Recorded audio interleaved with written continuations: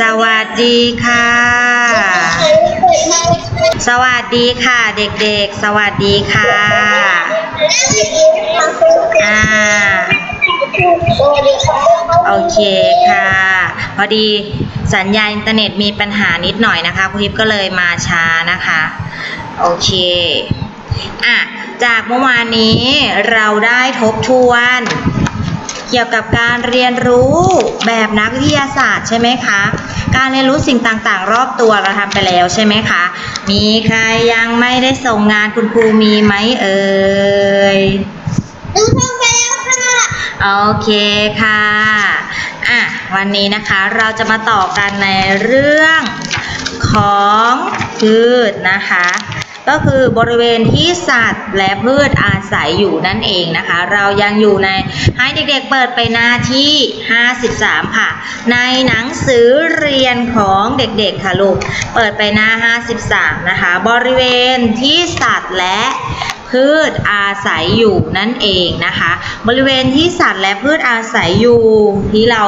ดูกันไปแล้วคือเจ้านกอะไรลูกเจ้านกเงือกใช่ไหมใครยังจำได้อ่าเขาถามว่าเจ้านกเงือกนั้นอาศัยอยู่ที่ใดบ้างเด็กๆจำได้ไหมเอ่ย อะนกเงือกเป็นนกชนิดหนึ่งนะคะ ที่อาศัยอยู่ในป่าที่มีต้นไม้ใหญ่มากมาย ซึ่งเป็นที่อยู่ที่เหมาะสมนะคะ นกเงือกจะกิน ผลไม้และสัตว์นะคะบางชนิดที่อยู่ในป่านะคะ เช่นกบหนูแมลงเป็นอาหารนั่นเองนะคะ เด็กๆเจอหรือยังตอนนี้คุณทิพย์อยู่ที่หน้า 53 นะคะ ในหนังสือเรียนนะคะ เจอแล้วค่ะ โอเคค่ะ นกเงือกอาศัยอยู่ในโพรงของต้นไม้ใหญ่นะคะ เพื่อหลบภัยนั่นเองนะคะ วางไข่และเลี้ยงลูกอ่อนนะคะ ปัจจุบันนกนกเงือกนะคะ มีจำนวนน้อยลง และพบได้ยากนะคะ อาจเป็นเพราะสภาพแวดล้อมใช่ไหมลูกในป่าเช่น ต้นไม้สัตว์และผลไม้นั้น มีจำนวนที่ลดลงนั่นเองน้องนัดไม่เล่นนะคะ เก็บค่ะ แล้วเอาหนังสือขึ้นมาเปิดค่ะ อะขาโอเคค่ะอะให้เด็กๆนะคะ เปิดไปที่หน้า 53นะลูกเขาบอกว่าเราอยากรู้ไหมว่า บริเวณที่สัตว์และพืชนะคะ ชนิดอื่น ๆ นั้นดำรงชีวิตอยู่ นั้นเป็นอย่างไรกันบ้างนะคะ แล้วบริเวณที่สัตว์และพืชอ่าอาศัยอยู่มีสภาพแวดล้อมเป็นอย่างไรนั่นเองนะคะอะ ทีนี้เขาบอกว่าในแต่ละบริเวณจะพบสัตว์และพืชชนิดต่างๆ เพราะบริเวณนั้นมีสภาพแวดล้อมที่เหมาะสมกับการดำรงชีวิตของสัตว์และพืชนะคะ เช่น มีที่อยู่อาศัย มีที่หลบภัย มีอาหารนั่นเองนะคะ อะ เรามาดูสไลด์ของเรากันนะคะ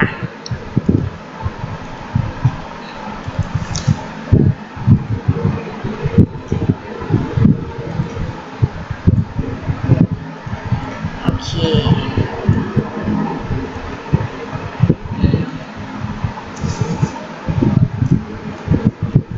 อ่า เด็กๆมองเห็นไหมคะลูกอ่าเมื่อกี้นี้ที่เราพูดถึงก็คือเจ้านกเงือกนี้ใช่ไหมคะอ่าทีนี้จำได้ไหมว่า เราได้เรียนรู้เกี่ยวกับแหล่งอาศัยของสัตว์ไปแล้วมีสัตว์บก สัตว์น้ำและสัตว์ครึ่งบกครึ่งน้ำใช่ไหมคะ สัตว์บกอ่า อาศัยอยู่บนบกตลอดชีวิตนะคะ มีทั้งสองขาแล้วก็สี่ขาหรือมากกว่านั้นนะคะ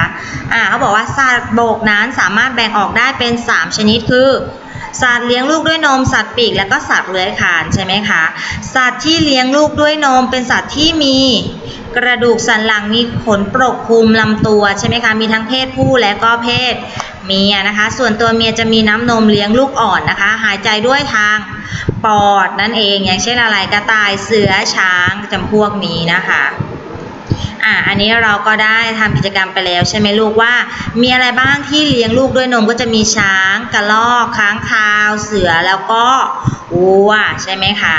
อะสัตว์ปีกสัตว์ปีกเป็นอ่ามีอะไรบ้างนะคะ มีขนเป็นขนแบบแผงนะคะ ปากเป็นจงอย มีรูปร่างแตกต่างกันออกไปนะคะ ส่วนใหญ่บินได้เช่นนกแก้วนกพิราบนะคะ บางชนิดบินได้ต่ำนะคะ ก็อย่างเช่นไก่เป็ดนกยุงบางชนิดที่บินไม่ได้เลยก็อย่างเช่น เจ้านกกระจอกเทศใช่ไหมคะนกแพนกินนกอีมูนะคะอะต่อไปสัตว์ที่เลียอ่าเลื้อยคลานนะคะ เป็นสัตว์ที่มีกระดูกสันหลังผิิวนางมีลักษณะแข็งหรือเป็นเกล็ดนะคะ ออกรูปเป็นไข่วางไข่บนบกไม่มีเปลือกแข็งหรือเปลือกนุ่มมีขาสี่ขา เช่นเต่าโบก หรือจระเข้พวกตะกรวจำพวกนี้นะคะ บางชนิดก็ไม่มีขาเคลื่อนที่โดยการเลื้อยก็อย่างเช่นงูชนิดต่างๆ นั่นเองนะคะ อะทีนี้สัตว์น้ำนะคะ สัตว์น้ำเป็นสัตว์ที่อาศัยและดำรงชีวิตอยู่ในน้ำตลอดเวลานะคะ มีวงจรชีวิตอ่าส่วนหนึ่งอยู่ในน้ำหรืออาศัยอยู่ในบริเวณที่มีน้ำท่วมถึง มีทั้งอ่า อยู่ในน้ำจืดและน้ำเค็มนะคะ ส่วนใหญ่ใช้เงือกอะใช้เงือกใช้เหงือกในการหายใจนะคะเหงือกของสัตว์แต่ละชนิดมีรูปร่างลักษณะไม่เหมือนกันนะคะ เช่นปลาปูกุ้งหอยหมึกรวมทั้งไข่ของสัตว์น้ำนั้นนะคะ บางชนิดหายใจด้วยปอดนะคะ อย่างเช่นวานโลมาพยูนหรือแมวน้ำนั่นเองนะคะ 3. สัตว์ครึ่งบกครึ่งน้ำนะคะ เป็นสัตว์ที่อาศัยอยู่ในบริเวณบก บนบกและในน้ำบางชนิดก็ตอนเป็นตัวอ่อนก็จะอาศัยอยู่ในน้ำนะคะ เมื่อตัวเต็มวัยก็จะอยู่บนบกนั่นเองอย่างเช่นอะไร กบใช่ไหมคะอะทีนี้ อันนี้เราก็ได้ตอบไปแล้วใช่ไหมคะว่า อันนี้คือตัวอะไรแก้วค่ะอ่าพยูนกินอะไรเป็นอาหารใช่ไหมคะ ก็คือกินหญ้าทะเลใช่ไหมลูกอ่า เหยี่ยวนะคะก็ใช้อุ้มเท้าใช่ไหมคะอุ้มเท้าในการจับสัตว์มาเป็นอาหารใช่ไหมคะอันนี้ก็คือชะนีใช่ไหมคะชะนีอาหารของมันก็คือผลไม้ยอดไม้หรือไข่นกหรือแมลงต่างๆ ใช่ไหมคะลูกอ่า สัตว์เลื้อยคลานนะคะ กลุ่มสัตว์เลื้อยคลาน สัตว์มีประโยชน์อย่างไร จากครั้งที่แล้วเราได้วาดรูปไปแล้วใครจำได้บ้าง ใช้เป็นอาหารใช่ไหมคะ เพราะส่วนใหญ่มนุษย์เราเนี่ยจะรับประทานเนื้อสัตว์เป็นอาหารอย่างเช่น เนื้อหมูเนื้อไก่เนื้อวัวเนื้อเป็ดใช่ไหมคะหรืออาหารทะเลใช่ไหมคะอย่างเช่น ปลากุ้งหอย หรือสองใช้แรงงานจากสัตว์ในการทำการเกษตรใช่ไหมลูกใช้วัว ใช้ควายในการไถนาใช้ช้างในการลากซูงใช่ไหมลูก ใช้ลิงเก็บมะพร้าวหรือสามนะคะ ใช้เป็นพาหนะนะคะสี่ใช้ทำปุ๋ย 5 ใช้ทำเครื่องนุ่งห่มนะคะ 6 ช่วยในการกำจัดศัตรูพืช 7 ใช้ในการศึกษาวิจัยทางการแพทย์ แล้วก็ช่วยผสมเกสรดอกไม้เป็นสัตว์เลี้ยงนั่นเองนะคะ อะ อันนี้ใครจำได้บ้าง ขออันนี้ของเด็กๆ ใครจำได้บ้างคุณทิพย์ให้ว่าอะไรบ้าง มีหมูหมูใช้ทำอะไรลูก หมูใช้ทำอาหาร แมวเลี้ยงไว้เพื่อความเพลิดเพลินใช่ไหมคะม้าไว้เป็นยานพาหะนะใช่ไหมคะช้างใช้ลากซูงแล้วก็แกะนะคะทำเครื่องนุ่งห่มก็คือเอาขนของแกะนั่นเองนะคะ แล้วก็ผีเสื้อช่วยผสมเกสรดอกไม้นั่นเองนะคะ น้องน็อตนั่งสวยๆครับลูกอ่าทีนี้ อันนี้นะคะอันนี้คุณทิพย์ยังไม่ได้ให้เด็ก ๆทำลงในสมุดนะ แต่มาช่วยกันตอบก่อนนะคะ อันนี้เขาบอกว่า ผักบุ้งต้นมะม่วงบัว ต้นข้าวลำต้นนะคะ อะหนึ่งเลยทำหน้าที่ชูกิ่งก้านดอกใบลำเลียงอาหารและน้ำให้กับพืชคืออะไรคะลูก คืออะไรต้นหัวอ่าลำต้นนะคะ เดี๋ยวที่เปลี่ยนตัวหนังสือก่อน อ่า ลำต้นนะคะลำต้น มันต้องใส่สีอะไรถึงจะมองเห็นเด็กๆมองเห็นไหมมันมืดเห็นไหมลูก อ่า ทีนี้เขาบอกว่า โอเคเขาบอกว่ามีลำต้นขนาดเล็กเป็นพืชล้มลุก อะไรนะที่เป็นพืชล้มลุก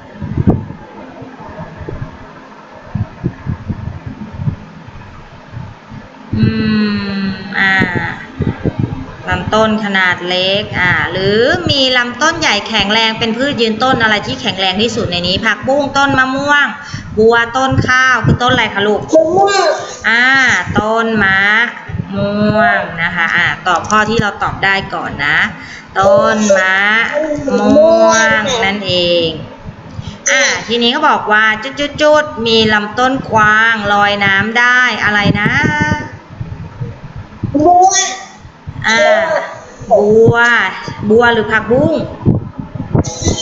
อ่า และมีพืชที่เจริญเติบโตอยู่ในน้ำเช่น อ่า อันแรกก่อนนะคะ ลูกมีลำต้นกวางก็คือผักอะไร ผักบุ้ง อ่า ผักบุ้งก็ลอยอยู่ในน้ำนะคะ ผักบุ้ง อ่า ผักบุ้ง แล้วก็อะไรที่อยู่ในน้ำเหมือนกัน เหมือนกันกับต้น บัวอ่าผักบุ้งแล้วก็บัวนะคะบัวอ่าเหลืออีกหนึ่งข้ออีกหนึ่งข้อเขาบอกว่า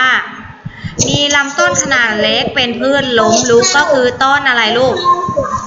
ต้นข้าวอ่าอันนี้คือไม่เป็นแบบอันนี้ต้นข้าว อะอันนี้ครูทิพย์ยังไม่ได้ให้หนูทำนะลูกครูทิพย์ทำให้ดูเฉยๆให้เด็กๆ ช่วยกันตอบนะคะ อันนี้ก็คือ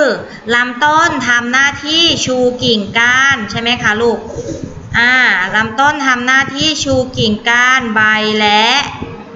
ดอกดอกและใบลำเลียงอาหารและน้ำให้กับต้นพืชใช่ไหมคะ ส่วนต้นข้าวนะคะ มีลำต้นขนาดเล็กเป็นพืชล้มลุกนะคะ ต้นมะม่วงมีลำต้นขนาดใหญ่แข็งแรงนะคะ และก็เป็นพืชยืนต้นด้วย ส่วนผักบุ้งนะคะ มีลำต้นกว้าง ทำให้ลอยน้ำได้นะคะ ผักบุ้งมันมีหลายชนิดนะลูกมีผักบุ้งจีนผักบุ้งที่อยู่ในน้ำที่เรามาใส่ในเย็นตาโฟ หรือก๋วยเตี๋ยวที่เป็นเป็นท่อนท่อนท่อนใหญ่ๆอะลูกอ่าแล้วก็มีพืชที่เจริญเติบโตในน้ำนะคะ อยู่ในน้ำก็อย่างเช่นบัวหรือผักตบชวานั่นเองนะคะอะก่อนที่ครูทิพย์จะให้เด็กๆทำกิจกรรมนี้ลงไปนะคะ เดี๋ยวเรามา ดูอันนี้ก่อนนะคะ เขาบอกว่าให้เด็กๆช่วยกันโยงเส้นนะคะ อันนี้รูปแรกคือรูปอะไรลูกผีเสื้อใช่ไหมคะ รูปที่สองคือรูปอะไรคะเป็ดเป็ดลอยน้ำอยู่ใช่ไหมคะ รูปที่สามคือรูปอะไรเด็กมองเห็นไหมเนี่ยกบค่ะอ่ากบแล้วรูปที่สี่คือรูปอะไรคะไส้เดือนค่ะไอ้มดค่ะไส้เดือนหรือมดรูปอะไรคะลูก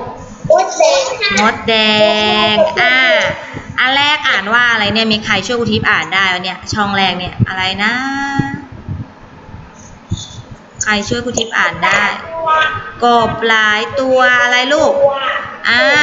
กบหลายตัวอาศัยอยู่ในบึงบัวกุทิพย์ควรจะโยงมาที่รูปที่หนึ่งสองสามหรือสี่คะลูกอ่าโยงเส้นมารูปที่ สามนะคะ กบหลายตัวอยู่ในบึงบัวใช่ไหมคะ อ่าอันที่สองอะลูก อันที่สองอ่านว่าอะไรอันที่สอง ผีอะไรช่วยกันอ่านอะไรนะคะผีเสื้อกับเงินเงิน อ่า ผีเสื้อกำลังดูดน้ำหวานจากดอกไม้ รูปที่เท่าไหร่คะลูกรูปที่เท่าไหร่ รูปที่หนึ่งค่ะอ่า รูปที่หนึ่งนะคะ ผีเสื้อกำลังดูดน้ำหวานจากดอกไม้นั่นเอง อ่า อันที่สามอ่านว่าอะไรคะลูก อันนี้อ่านว่าอะไรเอ่ย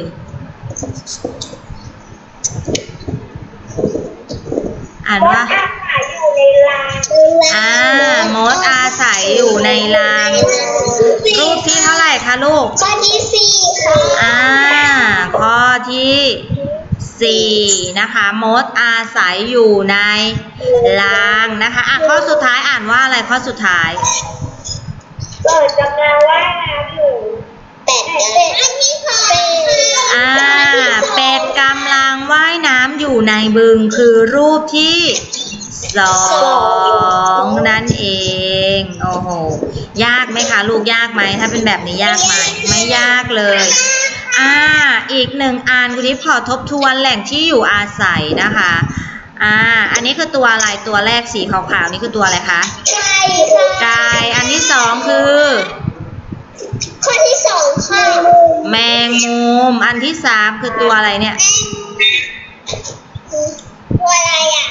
ตัวตัวอ่า ตัวตุ่นนั่นเอง ตัวที่สี่คือตัวอะไรลูกตัวที่สี่ค้างคาว ตัวที่ห้าคืออะไรคะ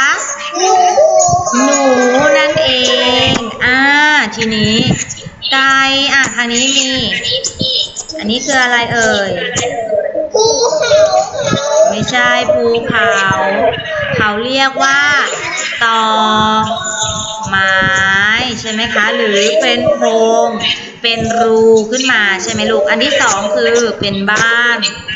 อ่าอันที่สามคือมีมีรูมีประตูด้วยนักเรียนคิดว่าอะไรจะอยู่อ่าแล้วก็มีหยากย่ายแล้วก็มีถ้ำด้วยอะอันแรกเลยไก่ลูกไก่คือไปลูกที่เท่าไหร่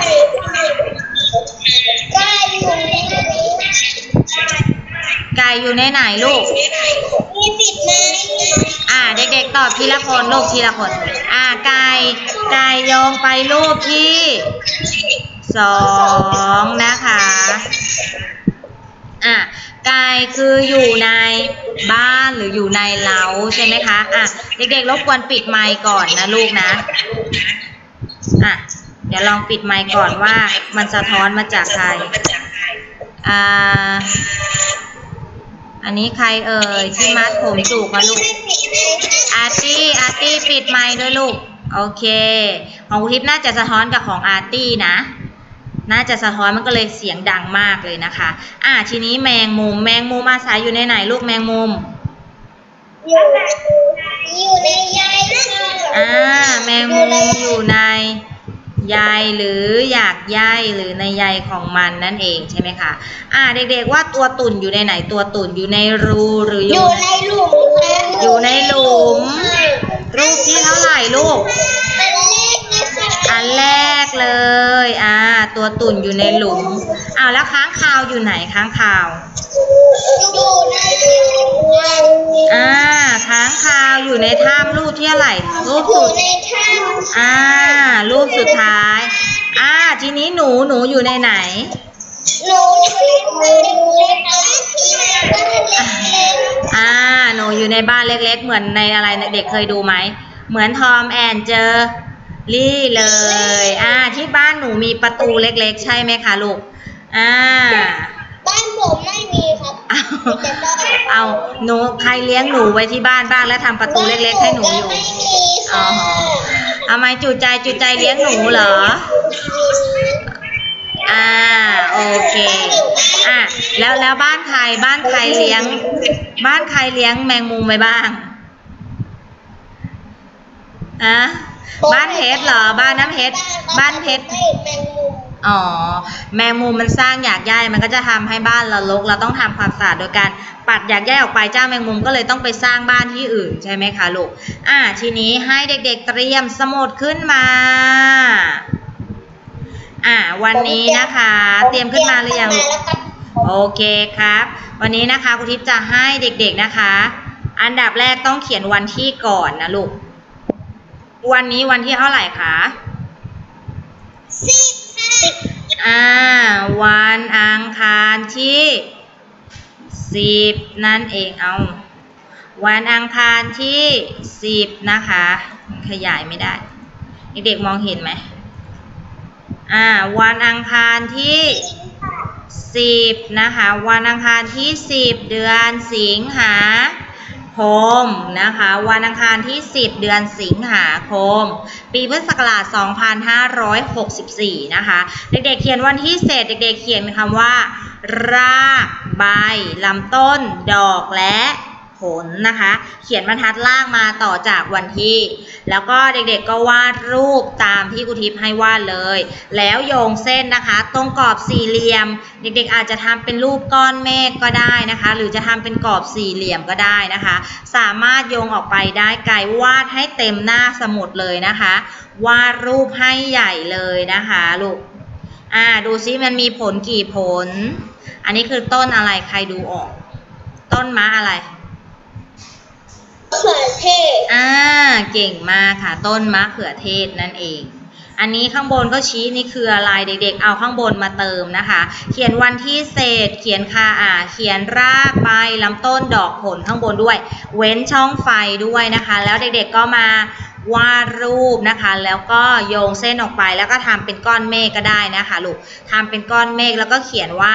สิ่งที่เด็กๆโยงออกไปมันคืออะไร มันคือใบหรือดอกหรือผลหรือลำต้นหรือ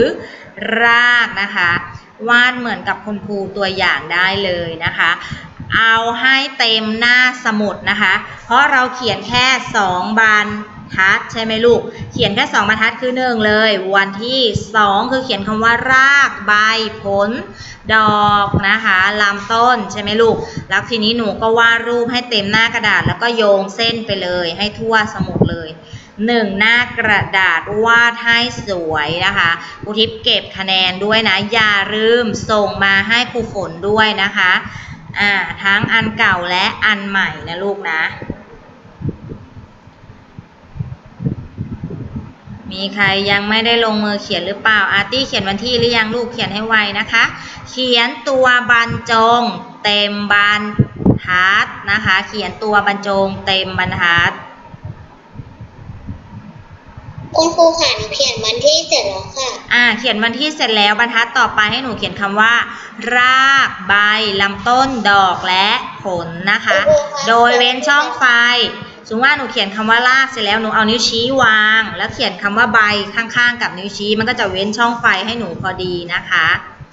เข้าใจไหมลูกตัวบรรจงเต็มบรรทัดให้สวยงาม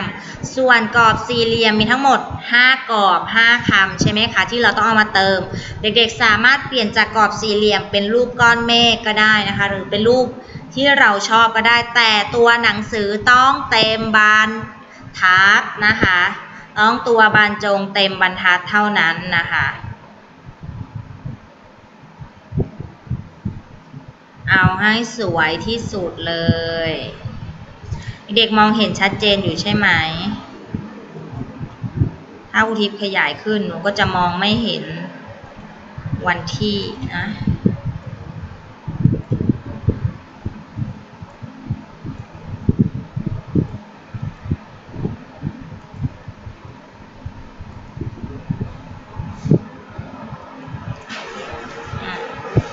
ตอนนี้เด็กขาลูกหาขีดเส้นปิด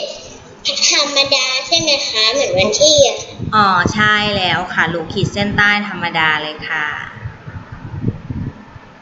น้ำเพชรน้องเพชรครับ เขียนหรือยังครับ น้องเพชรนั่งมองไม่เสร็จนะลูกนะ เหลือเวลาอีก 20 กว่านาทีนะคะ เดี๋ยวไม่เสร็จนะงานหนูไม่เสร็จนะ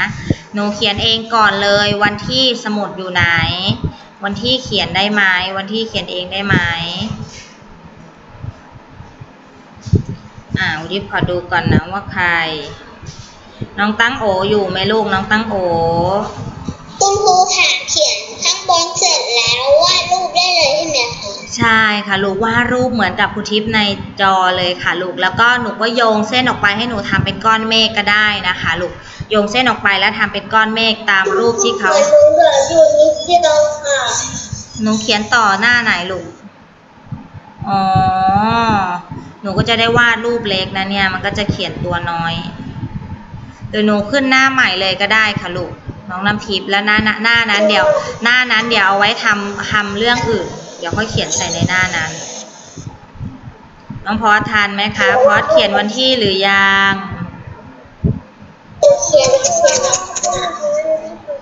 อะไรนะลูก วาดทั้งหมดเลยครับ แล้วก็โยงเส้นแล้วเอาคำที่เราเขียนข้างบนมาเติมครับ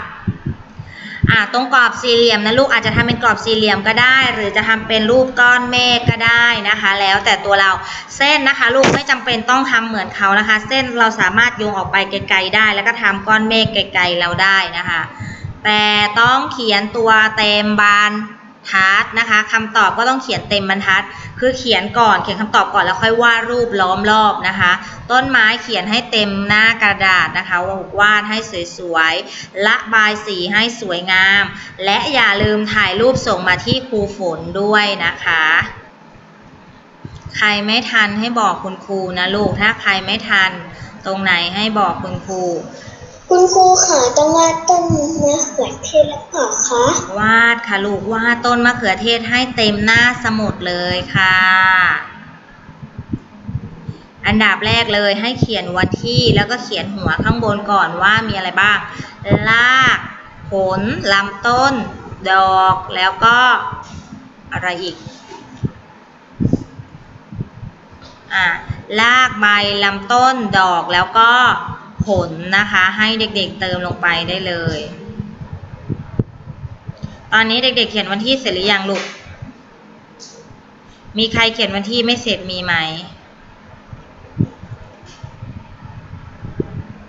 อ่าคุณทิพย์จะเลื่อนทับวันที่แล้วนะคุณทิพย์จะขยายให้ดูใหญ่ๆนะลูก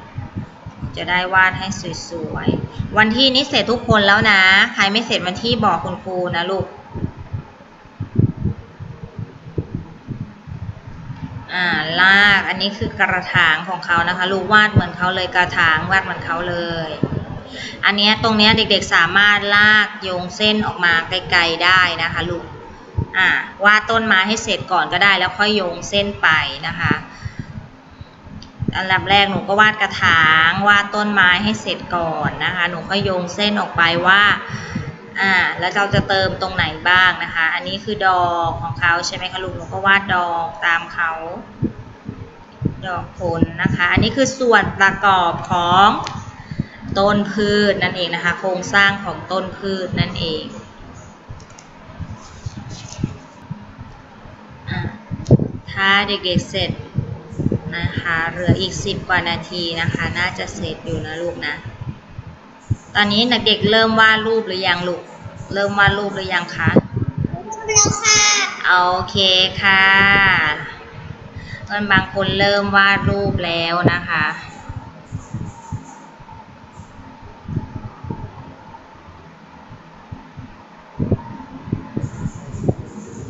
ครูพิมพ์คะต้องระบายสีไหมคะระบายสีให้สวยงามเลยลูกวาดต้นใหญ่ ๆ นะคะ ให้เต็มหน้าสมุดเลยนะลูกนะ จะให้คะแนนหนูก็เลยระบายสีโอเคค่ะ ระบายสีให้สวยๆเลย ใครอยากได้คะแนนเต็มเด็กๆต้องทำให้สวยๆ เขียนหนังสือให้สวยๆด้วยนะคะ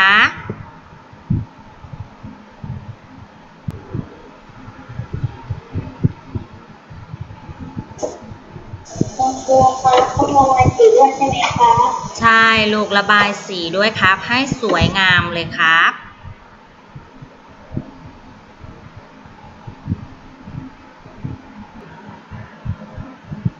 ตอนนี้นะคะทุกคนกำลังตั้งอกตั้งใจในการวาดรูปมากเลยนะคะลูก เอาให้สวยที่สุดนะคะ แล้วนำมาเติมให้ถูกนะคะลูกนำมาเติมให้ถูกที่ที่ถูกช่องที่เขากำหนดให้นะ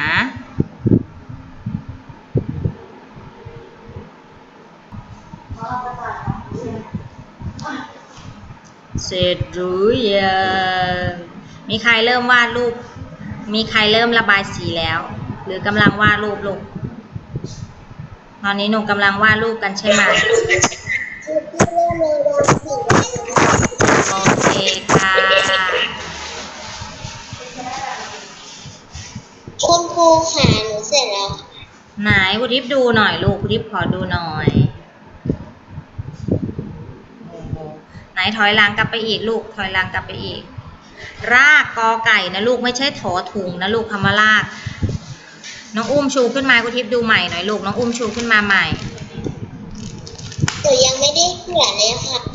อะคำว่ารากคำแรกนะลูกกอไก่นะคะ รออากอรากนะคะ หนูลบแก้ก่อนแล้วก็เขียนใหม่เว้นช่องไฟด้วยเว้นช่องไฟที่บอกว่าให้วางนิ้วชี้หนึ่งนิ้วแล้วค่อยเขียนคำที่สองค่ะโอเคไหนของน้องน้ำตาลที่ขอดูของน้องน้ำตาลหน่อยลูก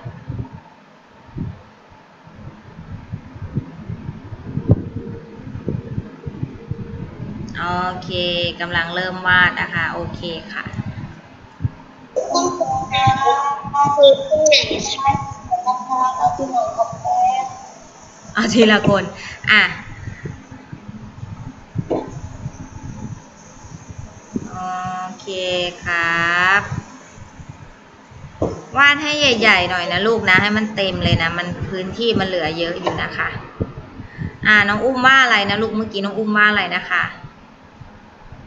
วางนิ้วชี้ตรงไหนคะอ่าหนูเขียนคำว่ารออากอรากใช่ไหมคะอ่าเขียนคำว่ารากเสร็จตรงหัวข้างบนสุดเลย รอลองที่ต่อจากวันที่อะลูกอ่าแล้วก็เว้นช่องไฟโดยการวางนิ้วชี้แล้วหนูค่อยเขียนคำว่าใบต่อมันก็จะเว้นช่องระวะระยะห่างของคำมาลูก ตอนนี้ทุกคนกำลังตั้งอกตั้งใจน้องพอดถึงไหนแล้วน้องพอด ได้ดูครับอ่าวาดรูปอยู่ครับคุณครูค่ะหนูเขียนว่าลากเสร็จแล้วค่ะไหนลูกไหนคุณทิพย์ดูหน่อยถอยหลังอีกลูกคุณทิพย์มองไม่เห็นรากข้างบนด้วยนะคะ ข้างบนหนูยังไม่ได้แก้เลยลูกบนสุดน่ะแถวที่สองอะค่ะลูก รออากอลากลูกไม่ใช่ถอคุถุณงทิพย์ครับเป็นแล้วครับไหนครับคุณทิพย์ดูหน่อยครับเอาเอาใหม่ลูกตั้งใหม่เอียงมาข้างนี้ ระบายสีให้สวยงามนะคะ ตรงนี้มะเขือเทศคืออะไร คือผลของมันนะลูก เอาคำข้างบนมาเติมนะลูกนะ ระบายสีให้สวยงาม ขาครูเติมตรงไหนคะ ไม่ใช่ลูกบรรทัดแรกอะหนูเขียนรออาถอลากไม่ใช่เหรอลูกหนูเขียนถอถุงไม่ใช่เหรอ แก้เป็นกอไก่อ่าขีดเส้นปิดด้วยลูก ของน้องบูมขีดเส้นปิดด้วย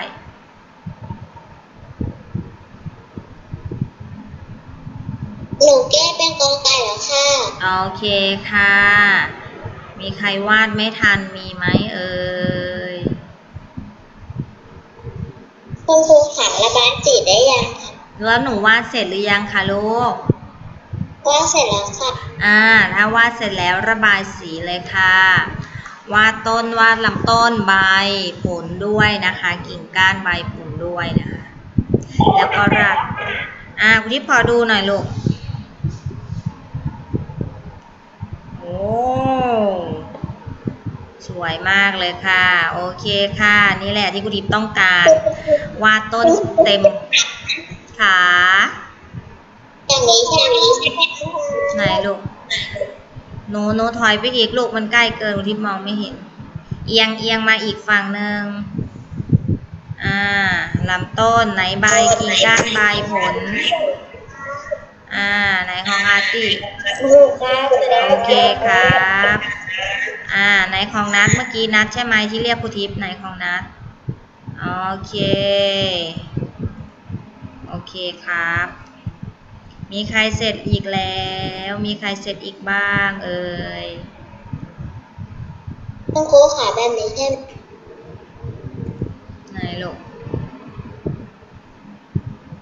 หนูถอยละอ่าใช่กอไก่แก้แล้ว โอเค ระบายสีให้สวยงามค่ะ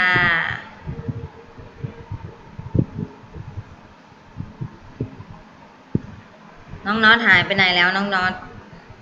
คุณครูค่ะระบายสีเสร็จต้องโชว์ให้ครูดูไหมคะระบายสีเสร็จแล้วขีดเส้นปิดให้เรียบร้อยนะคะ แล้วตอนเย็นส่งมาที่ไลายครูฝนนะคะ ส่งการบ้านมาที่ไลายครูฝนด้วยทำให้สวยที่สุดนะคะ คุณครูค่ะหนูขีดเส้นปิดไม่พอค่ะนะ มันมีพื้นที่ข้างล่างไงลูกพื้นที่ข้างล่างสุดน่ะ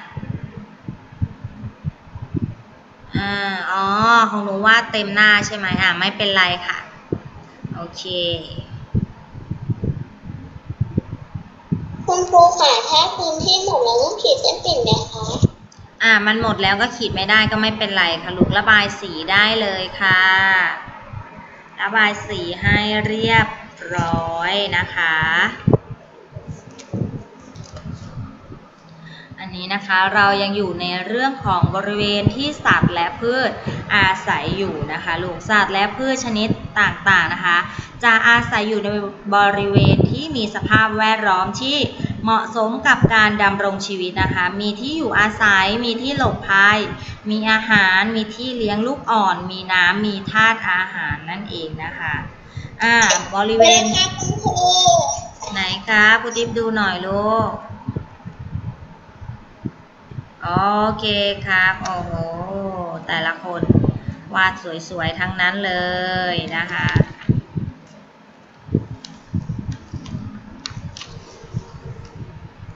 อ่าแต่ละคนวาดสวยๆ ทั้งนั้น อะ ทีนี้เขาบอกว่า บริเวณที่แตกต่างกันอาจจะพบสัตว์หรือพืชที่แตกต่างกันได้นะคะ เพราะในแต่ละบริเวณนะคะจะมีสภาพแวดล้อมที่เหมาะสมกับการดำรงชีวิตของสัตว์และก็พืชนั้นแตกต่างกันนะคะ เช่น ใต้ดินเราก็จะพบรังอะไร เป็นรังนะคะ อย่างเช่นรังมดรังปวกอย่างนี้นะคะที่ เป็นที่อยู่อาศัยนะคะ อย่างเช่นมดคันไฟก็อาศัยทำเป็นรังอยู่ใต้ดินนั่นเองนะคะ ส่วนบนต้นไม้นะคะ เราก็จะพบรังที่เป็นที่อยู่อาศัยและเลี้ยงลูกอ่อน บางทีก็จะเป็นมดแดงใช่ไหมลูก เป็นนกรังนกอะไรอย่างนี้ใช่ไหมคะ ในแหล่งน้ำเราอาจจะพบพืชที่เจริญเติบโตได้ดีในน้ำอย่างเช่นบัวนะคะลูก บัว ผักตบชวา หาลูกดอกอยู่ตรงไหนอะคะ นี่ไงคะลูกดอกอยู่ตรงใบที่ใต้ผลอีกฝั่งหนึ่งอะลูกเห็นไหมเห็นเมาส์อุทิศวงกลมไหม อันนี้คือดอกมันอยู่ฝั่งนี้ค่ะลูก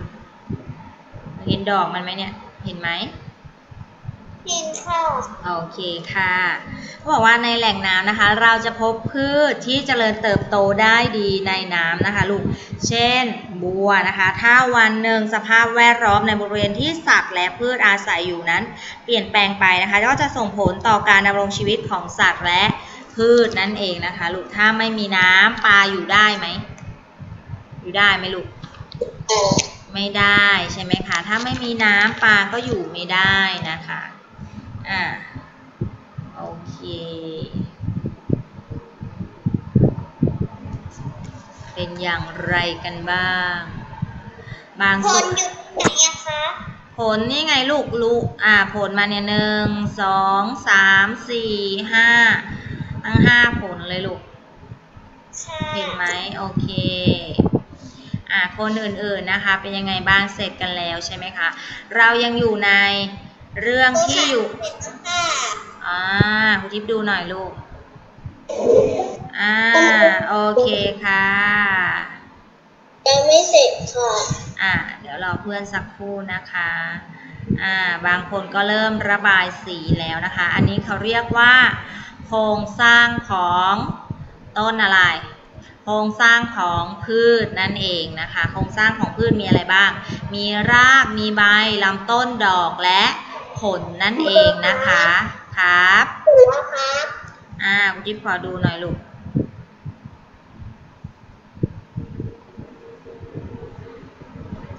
อ่า